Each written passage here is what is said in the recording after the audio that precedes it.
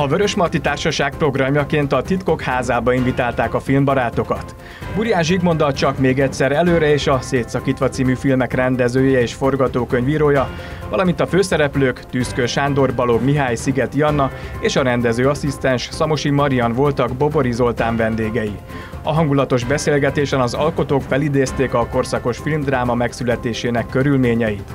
Mint ismeretes, az elmúlt hétvégén bemutatott szétszakítva a Csak még egyszer előre című háborús film ballada folytatásaként elkészült alkotás a magyar királyi székesfehérvári 17. Honvéd gyalogezred frontról hazatért katonáinak sorsát mutatja be az 1918 és 1920 közötti időszakban az őszi rózsás forradalomtól a román megszálláson át a trianoni döntésig.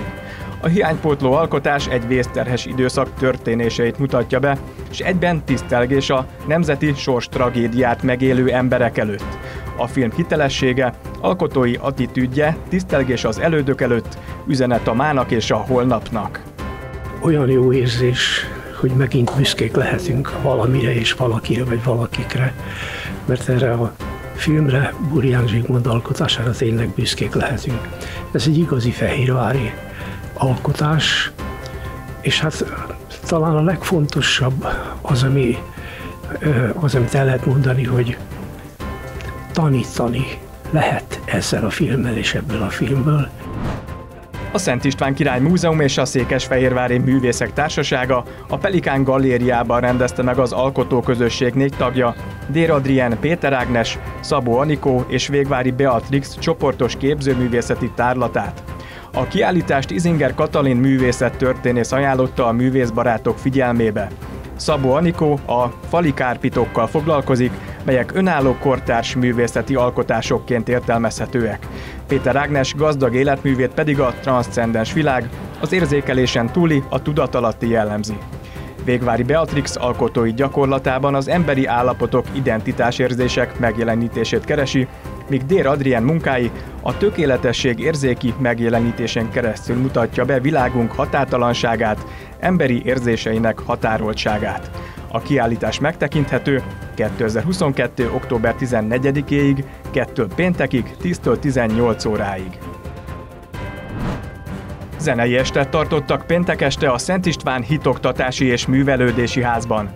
A műsor Tarasz Shevchenkónak állított emléket, az ő történetét ismerhették meg az érdeklődők, emellett pedig felléptek ukrán zenészek, együttesek is. Nagyon a, a, alacsony a családi rétegbe és felemelkedett legmagasabb rétegekbe, és a, ez szerintem a mai napra is igaz, hogy nem az fontos, hogy az ember milyen családban születik meg, hanem mindenki saját magának, a saját életének a kovácsa, ahogy mondják. Szűrővizsgálattal és állapotfelméréssel várja az érdeklődőket az immár tizedik alkalommal megrendezett Öreghegyi Egészségnap az Öreghegyi Közösségi Házban. A részvételt a legtöbb esetben előzetes regisztrációhoz kötötték, így szervezett keretek között időpontra érkezhettek a résztvevők, akik a különböző vizsgálatok során visszajelzést kaphattak egészségügyi állapotukról. Előzetes regisztráció van bizonyos vizsgálatokra, ezek a bokakarindex meghatározás, melanóma szűrés, EKG kardiológiai vizsgálat, illetve a csontsűrűségmérés. Ezen kívül még van egy állapotfelmérés, amire bárkit várunk szeretettel, tehát ott nyitott a kapu. Ez rizikókérdőíves felmérésből, vércukor, koleszterin, vérnyomásmérésből áll, illetve tudunk COPD-t mérni, van dietetikai tanácsadásunk és teljes testösszetételt tudunk mérni. Családja, barátai, tisztelői a Szent Donát kápolnában vettek búcsút Rába Közi Ferenctől, Székesfehérvár város volt önkormányzati képviselőjétől. Rába Közi Ferenc a rendszerváltás időszakában csatlakozott Székesfehérvár képviselőtestületéhez, 1990. októberétől két cikluson át, 1998. októberéig volt tagja a város közgyűlésének. A közösséget végzett munkát 1999-ben Pro Civitate díjjal ismerték el az elhunyt városunk szülötte, akit élete és munkássága is Székesfehérvárhoz kötött. Iskolái elvégzése után az Ikaruszban helyezkedett el, aztán az akkori víz- és csatorna műveknél dolgozott, majd a Kossuth mezőgazdasági termelő szövetkezet tagjaként 1997-ben vezetésével indult a baromfi és szarvasmarha nagyberuházás, majd később a szövetkezet műszaki ágazatának vezetője lett. Szakmailag folyamatosan képezte magát, előbb környezetvédelmi, majd gazdasági szakmérnöki diplomát szerzett, 1986-ban doktorált.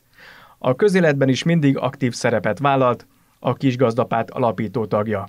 Alsóváros önkormányzati képviselője, valamint a Városfejlesztési Bizottság elnöke volt. Munkáját mindig kifogástalanul végezte, kollégáival jó szakmai és emberi kapcsolatokat alakított ki, Rábaközi Ferencet Székesfehérvár megyei jogú város önkormányzata saját halottjának tekinti. Emlékét megőrizzük.